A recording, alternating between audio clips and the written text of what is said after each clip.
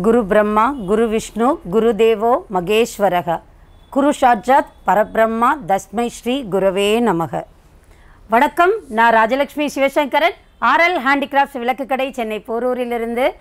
நாம் இன்னைக்கு விளக்கு கடையில் இருக்கக்கூடிய குரு அதாவது காஞ்சி மகா பெரியவாளர் இருந்து ஆதிசங்கரர் சாய்பாபா அது மாதிரி ராமானுஜர் ராகவேந்திரர் அந்த மாதிரி இருக்கக்கூடிய நம்மளுடைய நம்மளோட மனிதர்களாக பிறந்து ஒரு தெய்வ நிலைக்கு சென்றடைந்த நம்மளுடைய குருமார்களோட விக்கிரகங்களை தான் நாம் இன்னைக்கு பார்க்க போகிறோம் தெய்வங்கள் வந்து நம்மளுக்கு ஒரு கஷ்ட காலத்தில் நம்மளை வழி நடத்தணும் அப்படின்னா அது வந்து குரு மூலமாக தான் வழி நடத்துவாங்க அப்படின்றது நம்மளுடைய வாழ்க்கை அனுபவத்தில் இருந்தும் நம்மளுடைய முன்னோர்களோட வாழ்க்கை அனுபவத்தில் இருந்தும் நம்ம வந்து கற்றுக்க வேண்டிய ஒரு விஷயம்.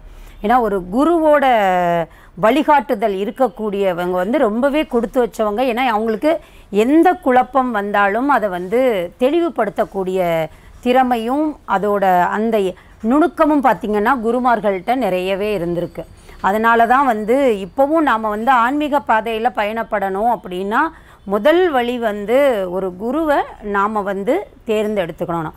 உண்மையாக சொல்லணுன்னா குரு வந்து நம்ம தேர்ந்தெடுக்கிறத விட நம்மளை தான் குரு தேர்ந்தெடுப்பார். அதாவது ஒரு சிஷ்யன் வந்து மனப்பக்குவம் அடைஞ்சிட்டான் அப்படின்னாலே வந்து குரு வந்து தோன்றுவார் அப்படின்னு சொல்லுவாங்க. ஸோ அந்த வழியில் நம்ம கூட வாழ்ந்த நம்மளுடைய குருமார்கள் அதுவும் காஞ்சி மகா பெரியவா அவளை பற்றி சொல்லணும் அப்படின்னா ஓரிருக்கையில் இன்றைக்கி ஒரு பெரிய மணிமண்டபமே கட்டியிருக்காங்க. அவருடைய அற்புதங்கள் எல்லாம் வந்து நிறையவே வந்து ஒவ்வொரு புக்லேயுமே நானுமே படிச்சிருக்கிறேன். ஒரு சில விஷயங்கள் படிக்கும்போது இப்படியெல்லாம் கூட நடந்திருக்குமா அப்படின்றது. காஞ்சியில் இருக்கக்கூடிய காமாட்சி தான் வந்து காஞ்சி மகா பெரியவாவாக உட்கார்ந்துருந்து எல்லாருடைய கஷ்டங்களை தீர்த்தாங்க அப்படின்றதும் வந்து ஒரு நிறைய பேரோட நம்பிக்கை அது உண்மை தான் ஏன்னா நானுமே ஒரு இருக்கை போயிருக்கிறேன். எனக்கு அதுவுமே ஒரு மனசாந்தி அளிக்கக்கூடிய ஒரு இடம் எப்போவுமே. காஞ்சிபுரம் போனோன்னா கண்டிப்பாக வந்து ஓரிருக்கை இருக்கை போய் மகா பெரியவாவை பார்த்துட்டு வர்றதுன்றது மனசுக்கு ஒரு ரொம்பவே நிம்மதியான ஒரு விஷயமா இருக்கும்.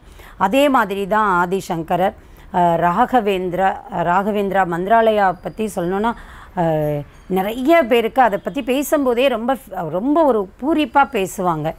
ஏன்னா நிறைய விஷயங்கள் அதாவது கலிகாலத்தில் நாம் வந்து முக்தி பேர் அடையணும் நம்மளுக்கு ஒரு ஞானம் வேணும்னா கண்டிப்பாக இந்த மாதிரி நம்மளை மாதிரி வாழ்ந்த மகான்களோட அனுக்கிரகம் இருந்தால் நம்மளுக்கு அந்த விஷயங்கள் வந்து சீக்கிரம் கிடைக்கும் அப்படின்றது தான் ஸோ அப்படிப்பட்ட மகான்களோட சாய்பாபாவாக இருக்கட்டும் சாய்பாபா பார்த்திங்கன்னா இன்றைக்கி நிறையவே நம்ம தமிழகத்துலேயும் அவருக்கு நிறையவே கோவில்கள் இருக்குது பாபா டிவோட்டிஸ்ன்னு சொல்லிட்டு அவ்வளோ பேர் இருக்காங்க. ஏன்னா கேட்டதை எங்களுக்கு வந்து உடனே பாபா பதில் சொல்லுவார் அப்படின்னு சொல்லி நிறையவே உணர்ச்சி பூர்வமாக பேசுகிறவங்களும் இருக்காங்க. ஏன்னா அவங்களுக்கு அங்கே வந்து ஒரு தெளிவும் நம்பிக்கையும் கொடுத்துருக்குது. ஸோ இந்த மாதிரி பல்வேறு வடிவங்களில் நம்மளோட குருமார்கள் எல்லாரும் இருந்தாலும் அவங்களுக்கு உள்ளே இருந்து நம்மளை வந்து ஆட்டிவிக்கக்கூடிய சக்தின்றது வந்து அதுதான் தெய்வ சக்தி.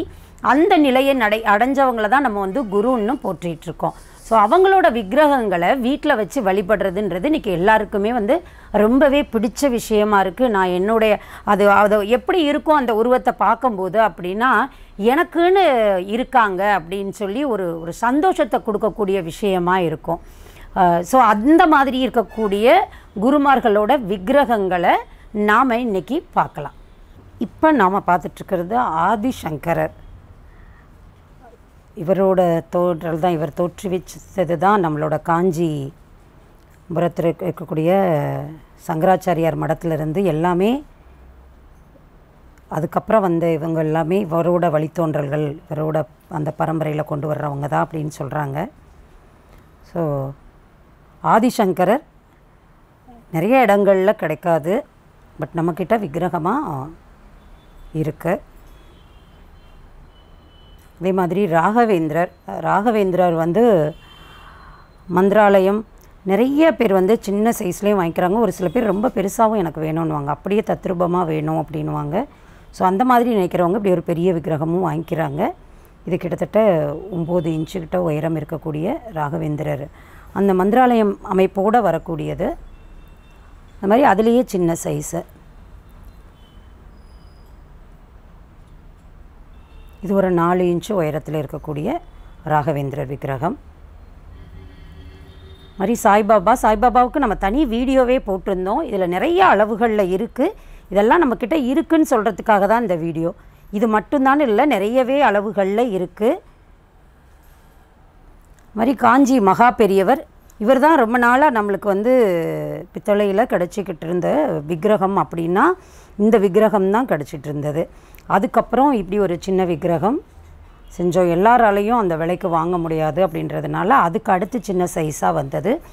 இப்போது நாலு இன்ச்சிலலாம் மூன்றரை இன்ச்சு நாலு இன்ச்சிலலாம் வந்து காஞ்சி மகா பெரியவர் கிடைக்கிறார்.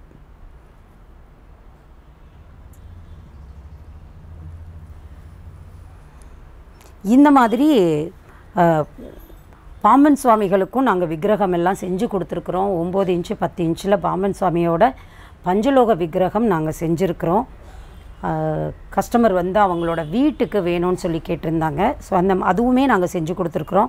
மாதிரி குரு ஐடலில் வேறு ஏதாவது வேணும் அப்படின்னாலும் நீங்கள் கேட்டிங்கன்னா கண்டிப்பாக நாங்கள் செஞ்சு தருவோம். சைவ நால்வர் வைணவ நால்வர் இவங்க எல்லாமே இருக்காங்க. அதுவுமே நீங்கள் வெப்சைட்லேயே பார்க்கலாம். அவங்களோட பிக்சர்ஸ் அளவு எல்லாமே இருக்குது பஞ்சலோகத்துலேயும் நம்மளால் கொடுக்க முடியும். பித்தளையிலையும் நம்ம வந்து வாங்கிக்கலாம்.